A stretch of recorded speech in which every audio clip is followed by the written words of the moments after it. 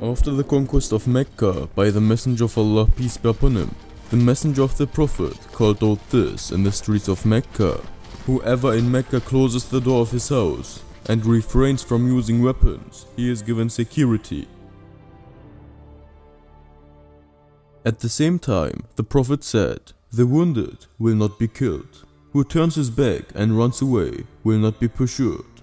Those who are captured will not be killed.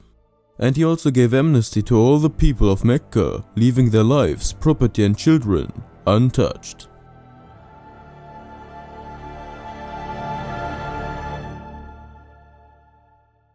A tent made of leather was pitched for the Prophet peace be upon him at the site of Hajjud near the present-day Masjid al-Jinn. When the Prophet was asked, Are you not going to enter your house in Mecca? The Prophet said, Did Akil leave us a house? Akil bin Abu Talib was the elder brother of Hazrat Ali, who was 20 years older than him. The Prophet had two houses in Mecca. One was the house in Shib Ibani Ali, in which he was born, which was inherited from his mother. The other was the house of his wife Khadija between Safa and Marwa behind the Atar Bazaar. After the migration of the Prophet peace be upon him to Medina, Akil bin Abu Talib seized these two houses and sold them. The Prophet was told, then stay outside your house in one of the houses of Mecca. The Prophet peace be upon him said, I will not enter the houses, and settled in the tent prepared for him.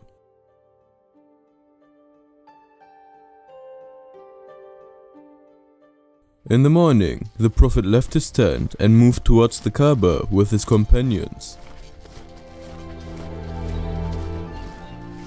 As the Prophet peace be upon him entered the Kaaba with his army, Abu Sufyan was sitting in front of the Kaaba thinking, Should I gather troops for Muhammad? Should I go back to fight this man again? What should I do? The Prophet peace be upon him stopped in front of him and said, Then Allah will make you despised and humiliated again. Abu Sufyan looked up and saw the Prophet standing next to him. Until now, I was not convinced that you are indeed a prophet, and I repent to Allah and ask His forgiveness for the delusions I had in my heart.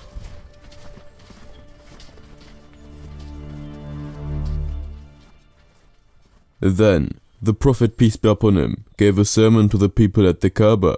He invited the non-Muslims to Islam and invited them to make the declaration of allegiance to Islam. All Meccans, men and women, big and small, came to swear allegiance to the Prophet. Many polytheists, including Abu Kuhafa, Haris bin Hisham, and the sons of Abu Lahab, became Muslims and swore allegiance to our Prophet. Even Suhail bin Amr, Ikrimah bin Abu Jahl, and Safwan bin Umayyah were given amnesty and invited to Islam, and they too became Muslims.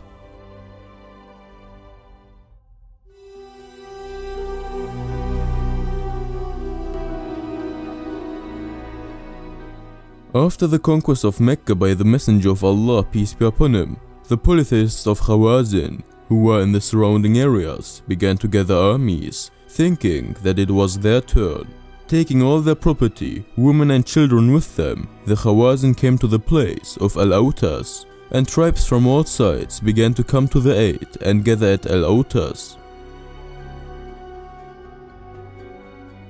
When the Saqif people living in Taif joined the Khawazin, a large army of 14 to 20,000 people was formed. The Prophet peace be upon him heard that the Khawazin and the Saqif were preparing to fight. He called Abdullah bin Abi Hadrat al-Islami. He ordered him to go to the Khawazin and stay among them and bring news until he could go among the people and get the information about them. Abdullah bin Abi Hadrat went out and went to the Khawazin. He wandered around the camps of the Khawazin. He went as far as Malik bin Auf. He found the leaders and the commanders of the Khawazin with him. Malik bin Auf said to his companions, Muhammad will never fight again after this time. He has only ever fought and defeated tribes who had no knowledge of warfare At dawn, you will line up your animals, women and children behind you. Then you will line up your soldiers. When you meet the Muslims, you will attack. Break the scabbards of your swords. Attack all together as one man. Know well that the first to attack is the one to be defeated. He heard and memorized it. He estimated the number of the gathered army to be around 20,000. Abdullah bin Abi Hadrat stayed among the Khawazin for a day or two and then returned and reported to the Messenger of Allah peace be upon him all that he heard and seen. When the Prophet heard the news of the Khawazin from Abdullah bin Abi Hadrat, he hastened to prepare to meet them. The Prophet appointed Attab bin Asid as the governor of Mecca and Muaz bin Jabal as the teacher of Sunnah and Fiqh. Safwan bin Umayyah, who had not yet converted to Islam at that time, lent the Islamic army 100 pieces of armor and 100 swords along with 40,000 dirhams. Nawfal bin Harith also lent 3,000 spears to the Islamic army. On Saturday, Shawwal 5th, the Prophet set out from Mecca to Hunayn with an army of 12,000 men. The Prophet had come with 10,000 Muslims to conquer Mecca 2,000 of the newly converted Meccans, who had heard of the preparations for war, had joined the Islamic army. Another 80 Quraysh, who had not yet become Muslims, joined the Islamic army for beauty.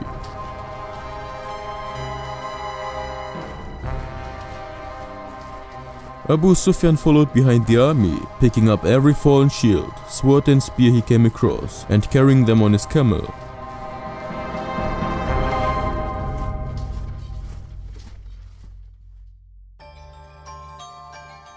Malik bin Auf, the commander-in-chief of the Khawazin armies, had sent some of his men as spies.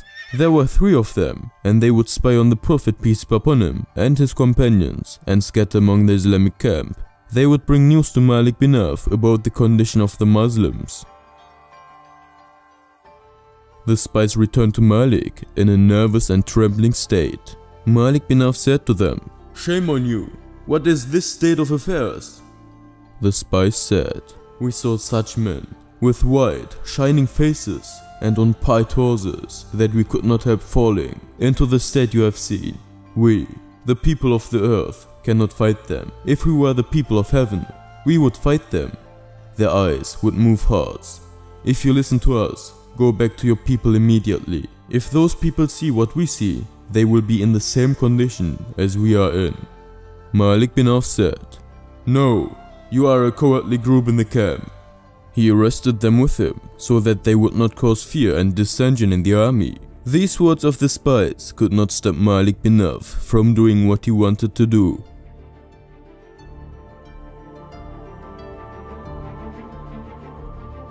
At dawn, the Prophet put the Muslims in battle formation. When they landed in the valley of Hunayn, a large vanguard moved forward for reconnaissance.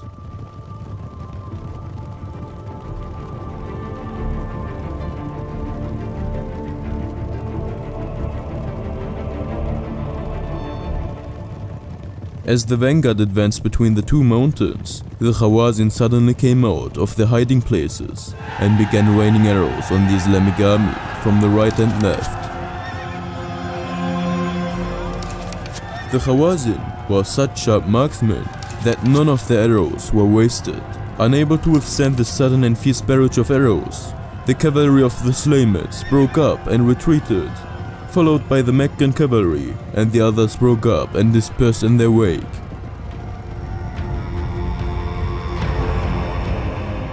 In the darkness of the morning, the Khawazin people emerged from around the mountains and began to chase the fugitives with all their might, which frightened the Islamic army.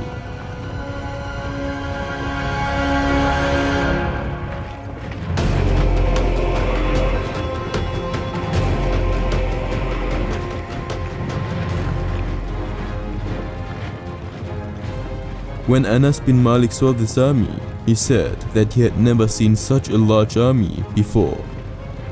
Since it was still dark and not clearly visible, the army of Khawazin was coming towards the Muslims like a great black storm.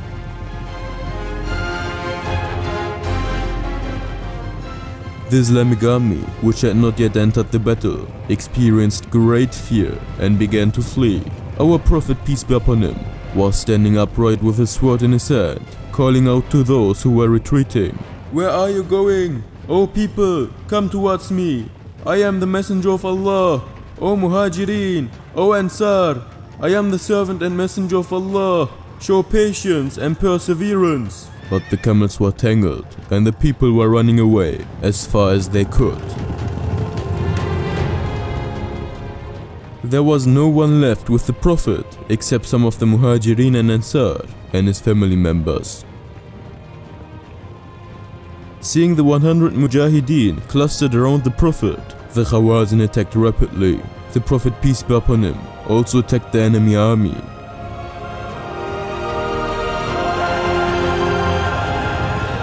His uncle Abbas, who was with the Prophet at the time, started shouting at the top of his lungs, O companions who swore allegiance to the Messenger of Allah under the tree of Samura, where are you? Hearing the voice of Hazrat Abbas, the members of the Ansar and Khazraj tribes stopped running and returned saying, Labbaik, Labbaik, and started to turn back. Catch up, O Muhajirin, O Ansar, come O Muhajirin, come O Ansar, come O horsemen of Allah.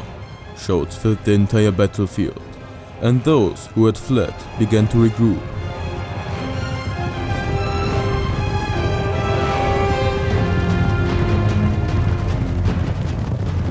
Muslims from all sides began to rush furiously at the Khawazin.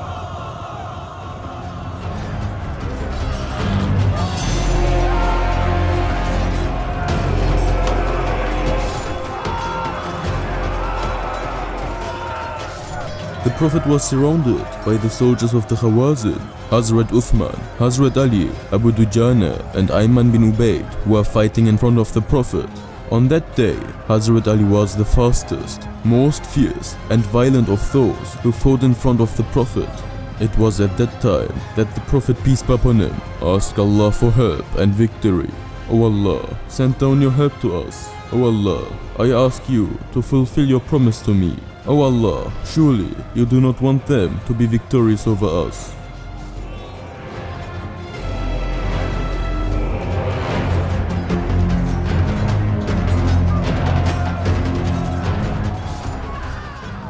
When the Prophet stood on his grey mule with his stirrups and saw the Muslims attacking the Khawazin with swords, he said, This is the time when the thunder is on fire. Soon after the Prophet prayed, the people of Khawazin became frightened and began to disperse. The Muslims began to chase them all together.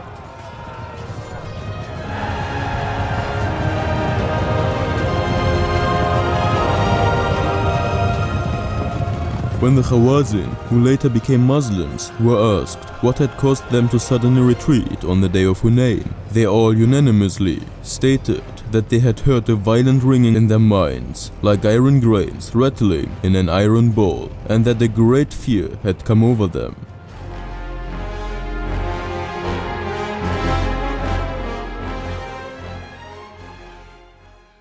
Certainly, Allah helped you in many battlefields and on the day of Hunayn, when your great numbers made you vain, but they availed you nothing, and the earth became straight to you, notwithstanding its spaciousness. Then you turned back, retreating.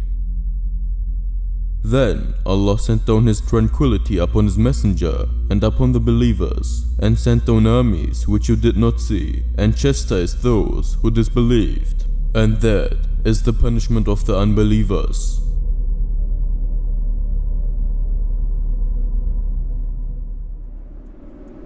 The Prophet ordered the Muslims to pursue the fleeing enemies. When the Khawazins were defeated, the Saqifids of Taif also broke down and retreated to the fortress of Taif.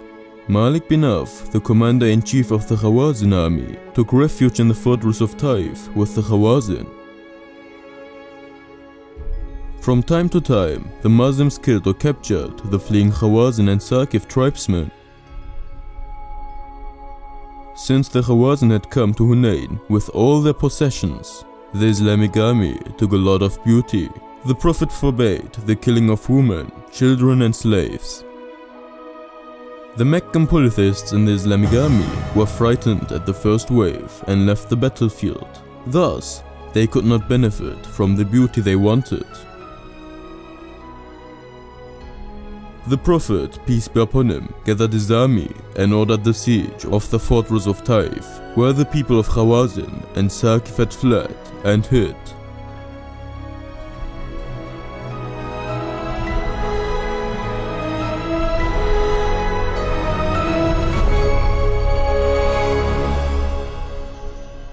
Thank you for watching our video. Your support means the world to us as it helps us to continue creating quality content. If you enjoyed this video, please consider liking, commenting and sharing it with your friends and family. We appreciate your engagement and feedback, which motivates us to keep producing more content. We look forward to seeing you in the next video.